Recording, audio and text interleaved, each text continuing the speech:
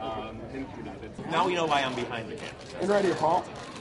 Il CinemaCon prosegue cercando di alleggerire l'atmosfera plumbea che aleggia sugli Stati Uniti dopo le bombe alla maratona di Boston. Alla convention cinematografica di Las Vegas è stato presentato The Hit, in italiano tradotto con il titolo Corpi da reato, nuovo film ambientato proprio a Boston, diretto da Paul Feig e con protagoniste Sandra Bullock e Melissa McCarthy.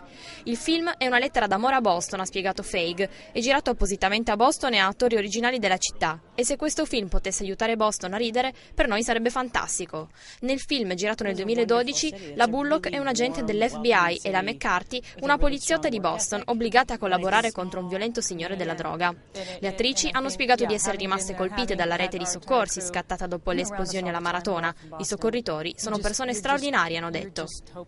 You just hope, you just go, God. And when you see the aftermath, it just, I mean, I, I try to look on the other side, which is look how amazing the people were. Let's loosen that up. Surprise! Come on, man! Get out, bull in China shop! What part of out do you not understand? You wanna go out? We'll take you out. I can't hold you. All right, let's pull him up. Come on. No, wait, I'm not kidding anymore. Really, I can't lift him up. Ah. He's all right, right? The, the, the metal car broke his